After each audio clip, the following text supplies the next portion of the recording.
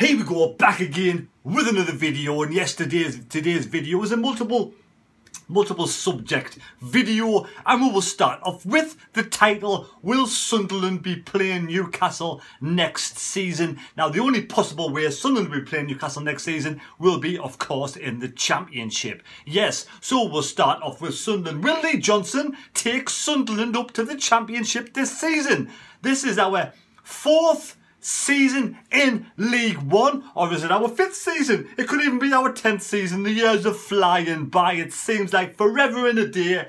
We were in the championship with Mr. Coleman. Yes, Mr. Coleman. But that seems like a long time ago, doesn't it? Chris Coleman, Sunderland's manager, when we had Ellis Short in charge and owning of Sunderland Association Football Club. Now, Sunderland this season are doing better than the previous seasons under different managers. Lee Johnson came in the back end of last season. We just lost out in the playoffs to Lincoln. But now our team is younger, fitter, stronger. Barring accidents, injuries and COVID, we're in a better position now than we were last season. Look at the run Lee Johnson has got this team going under. They started off, you know, we did lose a couple of games against Portsmouth, against Charlton, against Rotherham, against Sheffield Wednesday, but since then we have turned, not we, Lee has turned the team around. The team have turned the team around itself with wins against Ipswich, drawn against Shrewsbury, beating Cambridge, who incidentally beat Newcastle yesterday, but we'll get onto that in a bit. Then Sunderland drew against Oxford. We had three home games on the bounce. We beat I think it was Morecambe 5 and 0. We beat Plymouth 2 1. Then down at Ipswich, down to Portman Road, we earned a hard earned draw. Then away to Doncaster, we won 3 0. 5 0 win at Sheffield Wednesday. And then yesterday, the 3 3 draw against Wycombe, which was really, really unlucky. And to be fair, from the final third upwards was the better performance I've seen Sunderland play all season. Smooth on the floor, swift flowing, fast, speedy football and, and, and, and Stewart unlucky not to get, he was robbed actually, he was robbed of a hat-trick yesterday, seeing that the ball came off Stockdale's bottom to go in the back of the net. Well, I'm sure it already crossed the line. It did, it crossed the line and, you know, EFL's crossing the line by not giving him a hat-trick. But yes, that's the form Lee Johnson's in. We brought a new lad in and Trai. Hume, yes, from Linfield in Ireland. Premier League in Ireland. Experience for his years of age of only 19. Now, are we going to get promoted this season. At the moment, this moment in time, we're level on games, joint top with Rotherham, apart from, sorry, level on points, but Rotherham have one game in hand. Now, we are four points ahead of Wycombe on the same games played. But there's a conundrum now because the Wigan manager and owner, whatever who whoever it is has said this, want to try and extend the League One season just to suit them. One team only. Let's make an exception to the rule for one team only. Wigan, because they haven't been able to get their games in. Whether it's their fault or not, I do not know. I know some games were forced off by, I think Lincoln's game was postponed, Fleetwood's game was postponed. And, you know, end of the day, it's hard lines with Wigan. But would Sunderland would the EFL extend the season for Sunderland if Lee Johnson decided to call out six, seven games? Probably not. So why should Wigan be the exception to the rule? It was hard lines for Sunderland in that situation where Wycombe leapfrogged up into the playoff position when Sunderland could have been up there you know, because of the COVID restrictions. And, and even Peterborough, I think at the time, was the ones that were hard done by.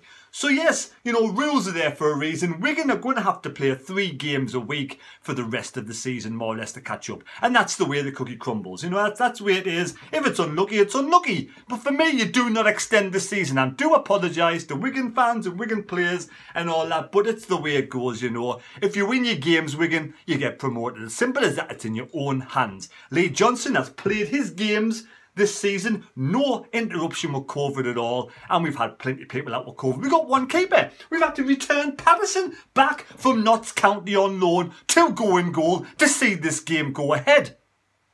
Hoffmann and Burge out with COVID. We have plenty of players out with COVID at this moment in time, but Lee Johnson has praised the team, praised Patterson, praised the full team, and praised you know everybody else going around that's made this game go ahead yesterday against Wycombe. We were only one minute away from three points, and it was a good performance. And I did feel for the fans, I did feel for the players, but at the beginning of the game, with the COVID, I would have said a point would have been a great result yesterday. So I'm happy with the point. Now we move on to week to Lincoln during the week. Now if we beat Lincoln during the week, four points in two games, can I say he's getting promoted this season? Yes, I can. We have a good run of fixtures coming up. And for me, we keep battling away, keep getting three points at home, the odd win away, an odd draw, and I have no I've got, I've got no sort of doubts at all in my mind that Sunderland can get promoted this season and can make it to the championship in this improving team with players coming in and more players that could be coming in. Like I said, I think it's Patrick Roberts, that's his name, could be coming in and other players to boot. So we will have the ammunition to go to war and do battles and get promoted this season. Now, if Sunderland get promoted this season, will they be playing a Tyne-Wear derby next season against Newcastle?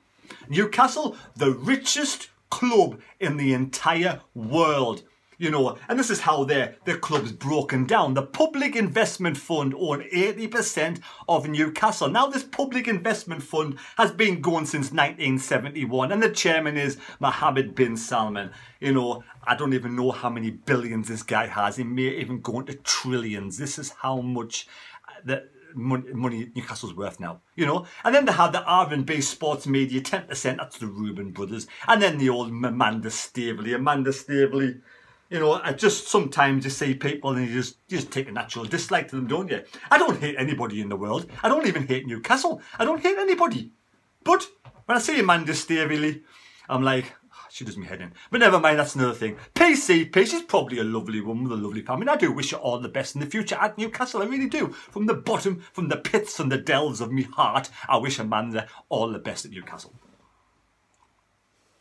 But she owns 10% with this PCP group. Now, when we look at Eddie Howe, Eddie Howe, again, is the manager of Newcastle United. He's been brought in by the new investment fund, by this massive consortium, the richest owners in the world, to take Newcastle out of the relegation battle and keep them in the Premier League. Now, when this PCP and uh, PIF and, uh, and the R&B, R&B, yes, R&B, nice bit of soul there. All them numbers and names and letters that confuses my brain. When they took over and become the richest club in Newcastle, richest club in the world, was I disappointed?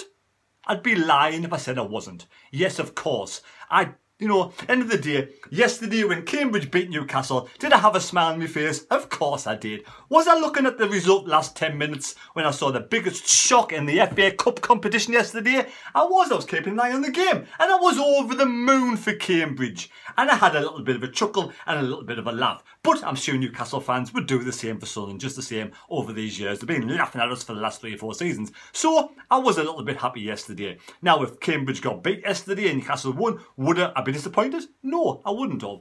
Do I want to see Newcastle win the Premier League, win the FA Cup, get into Champions League football? No, I do not. But the realist in me head says they're going to. So the best thing that Newcastle could do to delay that from happening is to be relegated. Do I want Newcastle to be relegated? Honest opinion? Either way, I'm not particularly bothered, but I would side with yes, for the simple reason I would love a Tyne-Wear Derby, Tyne-Wear Derby next season. If Newcastle up, would I be good at? No, I wouldn't. I don't hate them. I couldn't, you know, basically give a shit what goes on there, to be honest. It's that it's good banter. I like a bit of banter with the fans. You know, I've got some good, good Newcastle fans that really come onto my channel and support this channel. So why would I go and slate off a club? I would like to see in an ideal world both Northeast teams, the top end of the Premier League table and battling it out for the Premier League title. That would be a fantastic dream at some point in the future. Will it ever happen? In my lifetime? Probably not, but you never know, KLD. His mother's, the, I think she's something like the richest woman in football, the richest woman, in, one of the richest women in the world. So she does have the money, he has the money, and he's going to be a wise man. He's going to build up the club slowly, step by step, bring the youthful players through step by step. If the youth take into the system, take into believe what's going on at the club, we could have a really good team, a really good squad in the future. But Newcastle, yes, under Eddie Howe, I do have a bit of a soft spot for Eddie Howe. I do like him. I like him as the Burnley manager, sorry, the Bournemouth manager. Mm. And he was possibly one of the worst managers that come into Newcastle because I do have, like I say, I do like Eddie Howe. I do wish Eddie Howe all the best. And he's looking to, he's brought in Kieran Trippier. Kieran Trippier, 31 year old, played yesterday. Look at the squad, the team that played against Cambridge yesterday. Dubravka, Trippier, Krafth, Schär, Ritchie, Joelinton, Longstaff, Fraser. Then we have St. Maximin and Murphy all playing in that side yesterday, and they could not beat Cambridge. But they could get a draw against Manchester United. So that proves to me there is something wrong with the players. There's something wrong with the core of the players. There's something wrong with, you know, have they got the passion to win a game of football to keep Newcastle in the Premier League? Have they got the heart, the drive, the want, the will, the desire to keep Newcastle in the Premier League? Do I see it week in, week out? One win in 19 games says to me, that's not good enough, is it? Let's face it. They played 19 games. They've won one, drawn eight, lost 10, scored 19, and let in 42 goals. Now, let in 42 goals is the joint worst defence in the Premier League. Scoring 19 goals is only the third highest, third lowest of bottom, should we say. Eight goals Norwich have scored, 14 Wolves have scored, and then 16 Burnley, so it's the fourth bottom. We've got 40, 19 goals Newcastle, but that defence is shocking. Now the defender they're trying to bring in is this guy called Sven Botman, Danish 21-year-old international from AC Milan, and AC Milan do not want him to go. But does money talk? Is Sven going to take an opportunity, a chance? Is he allowed to go for starters from AC Milan, but is he going to jump boat? Boatman, Botman. Is he going to jump the bottom, the Boatman, Botman, and come to Newcastle? But money talks. Kieran Trippier at supposedly on £130,000 a week. Wages? Really? Joelinton's on about £80,000? So imagine how much this lad's going to want it at the age of 21. He's going to want to get at least the same as Kieran, Kieran Trippier. Definitely. Also, Chris Wood has been, you know, talked about coming from Burnley. Will he jump ship from Burnley and go to Newcastle? Because looking at the table, there's only four teams that's going to go out of the possible four teams, three will go down. Norwich look gone. I do think Norwich are gone, have gone. Watford for me, you know, as much as I like Claudio Ranieri, I think Watford for me are gone. And Burnley and Newcastle are the two. Burnley have two games in hand over Newcastle. But Burnley are not in a good run of form. Are not playing well. This could be the season Burnley go down to. I think Newcastle will get relegated this season. No, I don't for the simple fact they have the money to spend to buy big names, buy quality players, better quality than Norwich, Watford and Burnley could ever have in the second part of the season. They could almost buy in a complete new team. I know they won't be allowed. I don't know what the I don't even know what the financial fair play rule is in the Premier League, but they can bring in at least five or six players and turn their season around very easily. So Newcastle fans out there, do I think there'll be a Tyne-Wear derby? Do I want a Tyne-Wear derby? Yes, I do hand on me heart. I'm being honest. I want Newcastle to get relegated so we can play in the Championship because I want Sunderland to get promoted. But do I think when we head, you will go down? I think anybody out there with a bit of cash, get your money on Newcastle staying up because I think it's an absolute cert. You mark my words. There's no way Newcastle will be getting relegated this season. But there's always that small chance that the core of the players are not good enough. They don't have the killer instinct. Again, the drive. You got Jabravna. I thought he was a good goalkeeper. I'm probably not even pronouncing his name right, but yesterday's goal against Cambridge, it was absolutely shocking, wasn't it? The, the, the fans were complaining. The sellout, 52,000 fans at an FA Cup third round. That shows, you know, how much passion there is for football in the North East. You know, we've got 35,000 fans, whatever it is, going to Sunderland in League One and Newcastle 52,000 you know, in the Premier League. So two fantastic northeast sides should really be doing battle in the Premier League, and they will do one season uh, coming up very shortly. Like I said before, this team drew against Manchester United but couldn't beat Cambridge. There's something wrong with the soul of the team. Something wrong with it. Next four next four games, they got Watford at home. There's no, it's a, it's a, it's a, it's an absolute cert on the coupon. Get your money on Newcastle at home against Watford. Newcastle is a guaranteed cert to beat Watford. Watford. Then they'll away to Leeds, touch, touch and go. Everton home. Everton are in dire straits too. That could be another three points. And then Villa at home. Villa under Steven Gerrard. That will be a difficult game. So for me,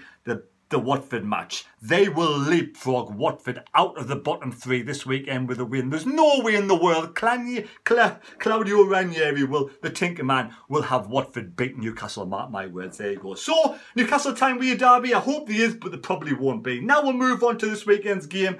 On Tuesday, not weekends, Tuesday's match against Lincoln. Sunderland versus Lincoln. Lincoln won yesterday against Oxford. Yes, they won yesterday against Oxford and they've played 23 games, they've won 6, drawn 7 and lost 10. 25 points, 2 points off the relegation bottom 4 and they have a minus 5 goal difference. Lincoln beat Watford, no he beat Oxford 2-0, not Watford, they probably could beat Watford because Watford are in awful form. But they beat Oxford 2-0 with a 4-3-3 system. Chris Maguire, Whittaker and Scully were the three up front. We beat them in the playoffs last season at home, but we went out on on on the on the, the I don't know for some kind of oh shit need to drop your pint some sort of goal difference because we got beaten them away didn't we but Lincoln since since after before that game against Oxford. They got beat by MK Dons yes and then there was a break between them and COVID where they drew the game before that against Cheltenham. They lost to Crewe. They lost to Stanley. They lost to Portsmouth. They drew against Doncaster. Drew against Shrewsbury. The last win against was against Wigan. Back in October 23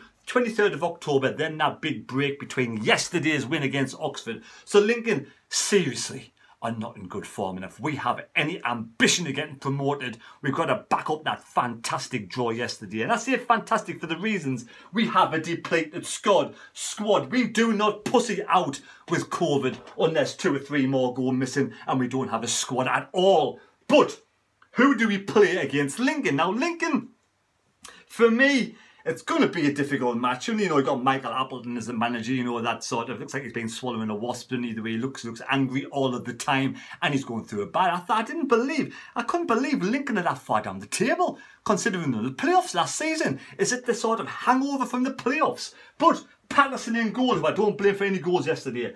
Now, Cirkin, Flanagan, Doyle, Winchester, I would bring Winchester from the right back to the centre of midfield because there's no way Evans will be allowed to play when he was knocked clean out yesterday. And again, I reiterate, I do hope Evans is perfectly fine and well. I do hope you've recovered and talking and listening to Lee Johnson's interview last night, it does seem that he's recovered okay and that was the precaution with everything that went on to take him off. Gooch Pritchard, Embleton Stewart, if there's no injuries, I would bring in Hume. I'd bring in Trai Hume. Why not? Who else have we got to bring in? You're going to have to something like put Gooch back there and bring in someone like Josh Hawkes, aren't you? Or have Diamond on one side, Embleton on the other, and put Gooch. And, and so you're messing about a bit. But you bring in a right back who's been playing right back, who should be fit from all the 55 games he's played for Linfield.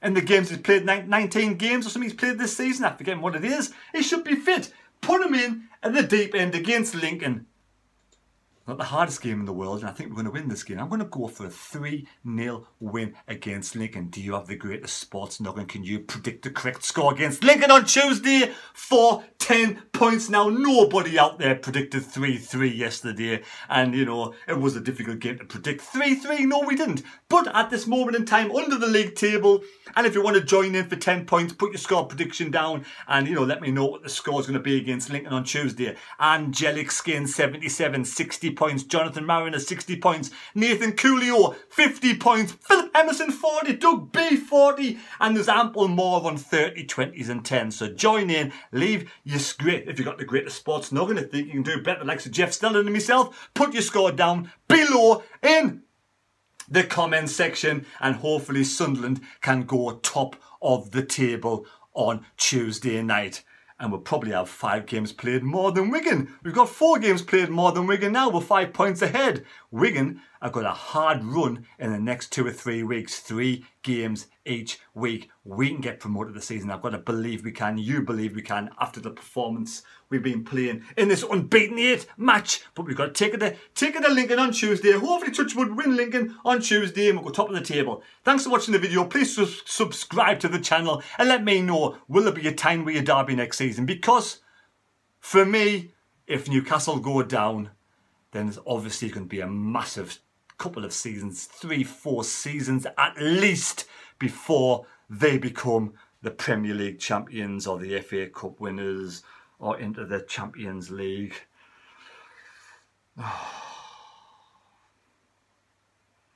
It's just best. It, it's just best to think about, doesn't it? Really, I don't want it ever to happen, but would it ruin my life if Newcastle were Premier League champions? No, it wouldn't. You know, end of the day, I wish them all the best. Right, take care. God bless. We'll see you later.